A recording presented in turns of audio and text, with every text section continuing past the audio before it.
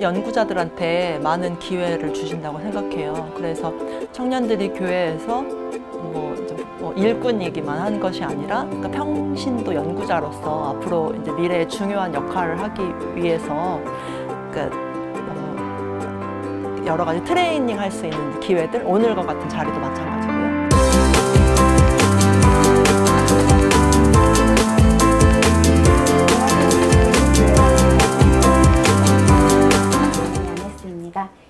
석주쌤 나와 계세요. 반갑습니다. 반갑습니다. 네. 지난 영상에서 석주쌤 이야기가 많은 인풋을 주었는데요. 어, 저희 살롬의 회원들도 여러 갈래에서 많은 질문을 주셨어요. 반응이 아주 뜨거웠다고 합니다. 네, 저도 좀 미리 주신 질문들을 살펴봤는데요. 네, 최대한 성실하게 답변할 수 있도록 하겠습니다. 네, 준비되셨나요? 네. 네, 좋습니다. 그럼 가톨릭 교회 안에 이어서 Q&A 시간 시작하도록 하겠습니다. 네, 첫 번째 질문 드릴게요. 그동안 보수적 신앙관의 근저에는 여성이 열등하다는 인식이 암암리에 깔려 있었는데요. 이런 여성의 열등성 인식 극복에 거- 교회가 어떤 역할을 할 수 있을까요? 그러니까 교회는 기본적으로 여성도 남성과 동등한 존재이다라고 강조하면서도 한편으로는 역할 면에서는 남녀가 달라야 된다라는 면으로 좀 이중적인 전략을 펴왔다고 생각해요. 제가 역사적으로 봤을 때. 근데 뭐 이를테면 교황 요한 바오로 2세께서 이제 뭐 쓰신 여성의 존엄이라는 문헌을 보면 여성의 소명이 두 가지로 나오거든요. 모성성과 동정성이라는 것이에요. 근데 인구의 절반인 수많은 여성들의 삶이 다 각기 다른데 어떻게 두 가지 타입으로 설명을 할 수 있겠어요. 그래서 오히려 교회는 그 여성들이 그 나답게 자기만의 고유한 달란트를 일상에서 발휘하면서 살아가는 그런 자연스러운 모습을 있는 그대로 받아들여 주는 것이 교회의 역할이지 않을까 저는 그렇게 생각합니다. 네, 그러면은 교회는 이렇게 기여를 할 수 있고 여성은 또 어떤 방식으로 역할을 할 수 있을까요? 개인이 교회에 어떤 기여를 하면서 살 수 있는지 생각해보고 또 내가 기여를 하고자 할때 제약받는 것은 무엇인가 그것이 부당한 제약인가 혹은 차별적인 관습 때문인가 이런 것을 식별해 가, 가는 것이 중요하다고 생각합니다. 그때 어떤 이런 것을 도와주는 도구로서 페미니즘이라는 인식론을 활용하는 것도 좋다는 생각을 합니다. 네, 저도 여성 신자로서 성씨님 이야기를 들으면서 어떠한 식별의 시간을 가져야겠다고 생각합니다. 네, 그럼 다음 질문 드릴게요. 석주쌤 강의를 들으면서 교회 시, 그리고 신앙이 본격적으로 성을 직면해야 한다는 주장으로 이어질 수 있다는 생각을 했습니다. 몸의 문제를 해결하기 위해 꼭 관심을 가져야 할 교리적 문제나 또 함께 연구해 볼 만한 가치가 있는 아니면 개인적인 연구를 말씀해 주시겠어요? 저는 우선 교리적으로 교회가 피임적 사고방식을 부정적으로 보는 어떤 시각을 계속 유지하고 있는데 이것을 반드시 수정하고 재고해야 한다라고 진지한 제안을 드리고 싶습니다. 아, 지난번 영상에서 말씀드렸던 것처럼 여성들은 일생의 많은 시간을 어떻게 안전하고 효과적으로 피임할 것인가에 대해서 아주 사활을 걸고 정확하게 공부하고 탐구해야 하거든요. 근데 이것이 교회 문화 안에서 터부시 되고 또 자연 출산 조절 이외의 모든 인공 피임은 혼 전이든 혼 후이든 교리적으로 이제 허용되지 않고 죄로 보고 있는데 이것이 여성들의 몸의 조건상에서 맞지 않, 않아서 비현실적일 뿐만이 아니라 여성으로 하여금 자신의 인생을 주도적으로 계획하지 못하게 만든다는 면에서 좀 무책임하고 어떤 면에서 또 의롭지 못한 교리라고 생각합니다. 이 부분이 반드시 수정되어야 한다고 생각합니다. 그리고 저는 개인적으로 지금 박사 논문을 쓰고 있는 학생인데요. 제 연구 주제는 여성 신앙인의 낙태 경험에 대한 현상학적 연구예요. 그래서 교회 안에서는 더 묻혀져 있던 드러나지 못했던 낙태 경험한 여성들의 목소리를 발굴해내고 있는데 이것이 작업이 끝났을 때 또 교회에 또 어떤 어, 긍정적인 영향력을 줄 수 있지 않을까 이런 기대감으로 노력하고 있습니다. 논문이 나오면 꼭 찾아서 읽어보도록 하겠습니다. 감사합니다. 도전 응원합니다. 네. 세 번째 질문 드릴게요. 저도 궁금한 질문이었는데요. 아, 강연에서 페미니즘과 가톨릭 신앙 사이, 사이의 경계인이라는 말씀을 해주셨어요. 이 구체적인 경험이 있다면 말씀해 주시겠어요? 그러니까 제가 현재 본당에서 레지오 활동을 하고 있는데요. 그러니까 원래도 제가 좀 성모님에 대한 어떤 신심 이런 것이 스스로 좀 각별하다는 생각이 들어서 레지오를 하고 지금 단장을 한 지도 좀 3년이나 됐어요. 근데 할수록 그뭐 레지오 정신이라고 강조되는 이제 교회의 어떤 방향성이 제가 갖고 있는 성모 신심하고 좀 내용이 좀 다르다라고 느낄 때 내가 되게 경계적인 존재구나라는 생각을 하게 됩니다.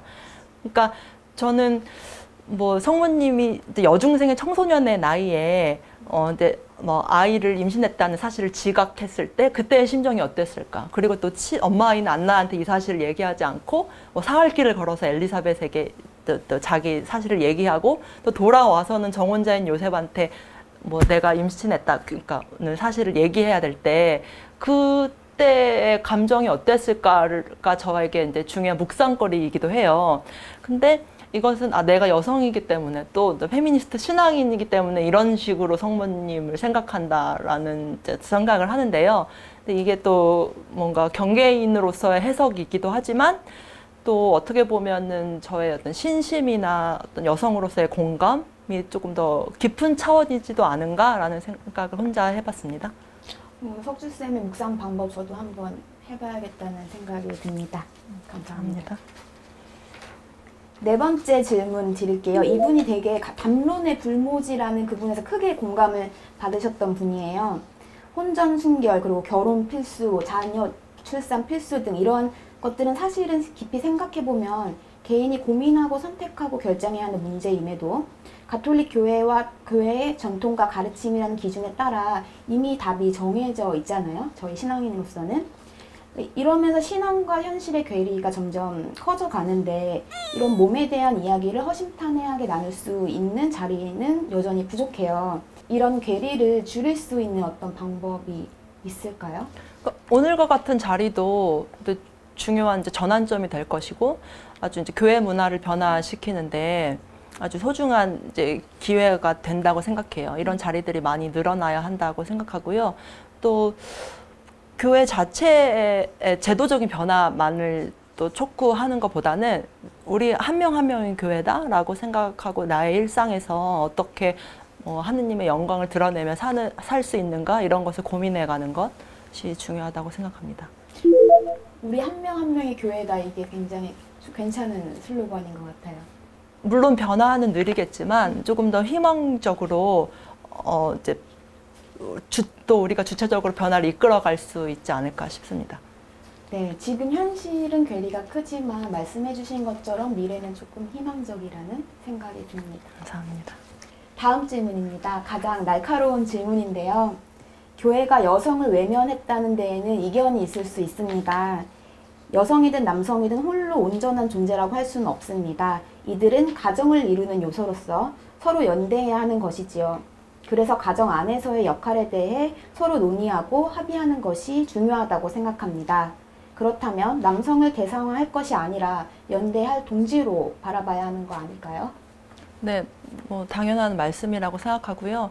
그런데 다만 남녀가 가정을 이루는 요소라기보다는 이제 뭐 가정을 이뤄서 살 것인가 아닐 것인가는 개인이 선택하는 생활 양식일 텐데 사회의 구성원으로서 남녀가 관계 맺고 살아가고 있기 때문에 내 존중과 협력 그리고 이제 무엇보다 평등한 의사소통, 그 상대방의 입장에서 또 왜 저 사람이 저런 목소리를 낼 수밖에 없는가를 생각해보는 그런 자세들을 가진다면 더욱더 이제 민주적으로 연대해 갈 수 있지 않을까 생각합니다.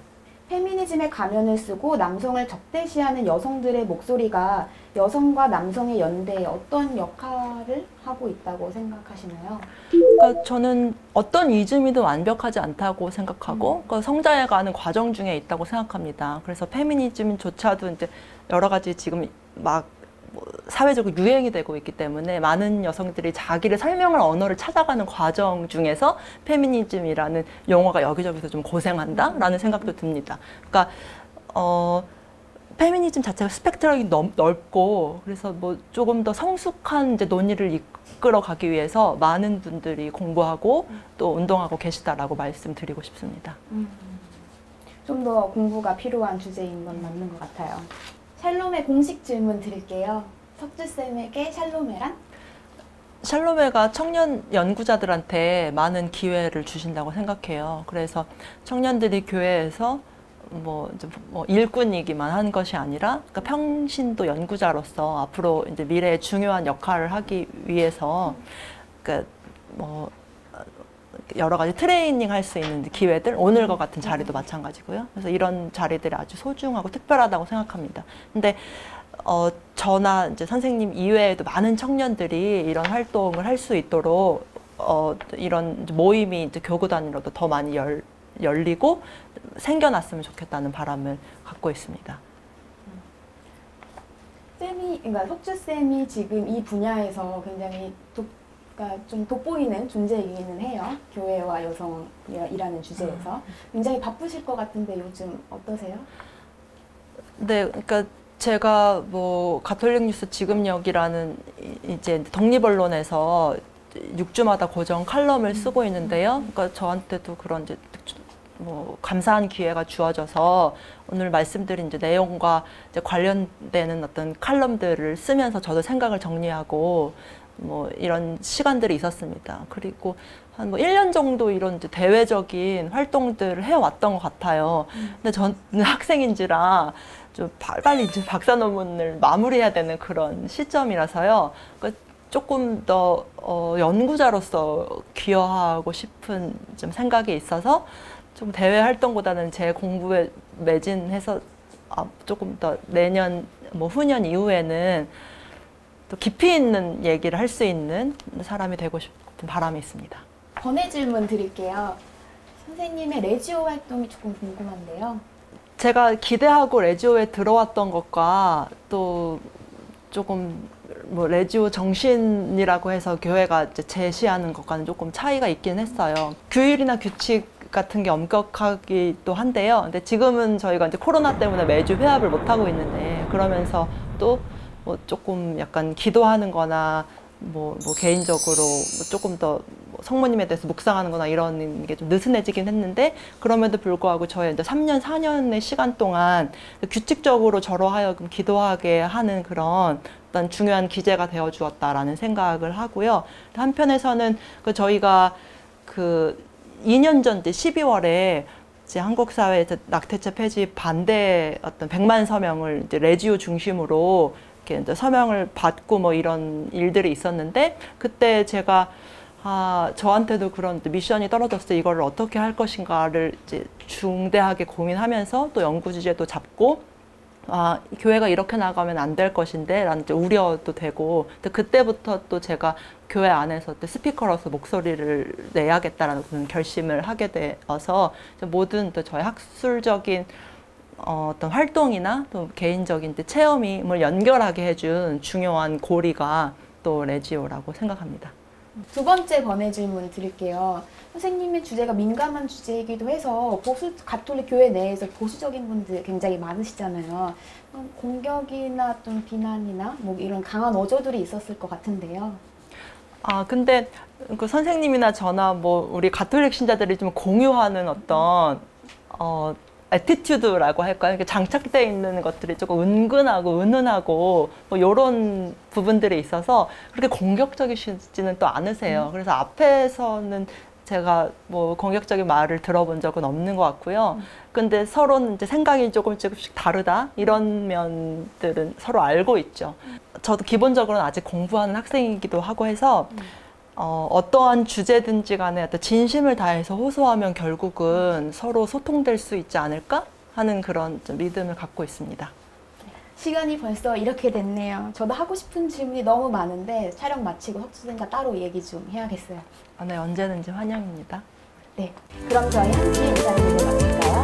사진 촬영 영상을 시청해주신 여러분 감사합니다. 감사합니다.